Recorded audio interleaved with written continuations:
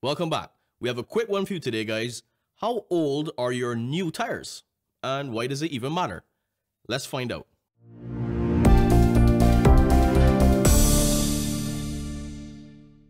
So you just bought a set of new tires. They smell all rubbery and they have the stickers and the little cute spiky things on them still. So that means they're brand new, right? Wrong. They may have never been driven on, but they could still be old. What do you mean, Chris? Well, check your sidewall for the manufacture date. You're going to find that date as part of the overall tire ID number. Usually it's the last four digits inside of a pill-shaped area stamped on the side of the tire. The first two numbers are the week and the second two the year the tire was made. So if they've never been used, why is this date even relevant?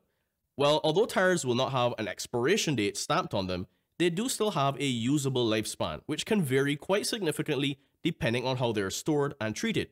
But you'll find in general, the newer the tire, the closer you're going to get to the manufacturer's assurances and claims.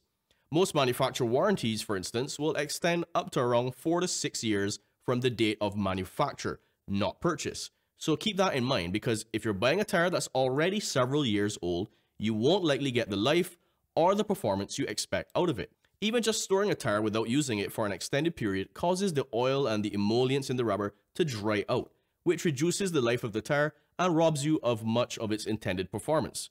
So take a look at how to store your tires in our other video linked in the description down below. Now the newer the better of course, but we recommend trying not to go over around 2 years or so from the manufacture date if you want to get the most out of your new tires.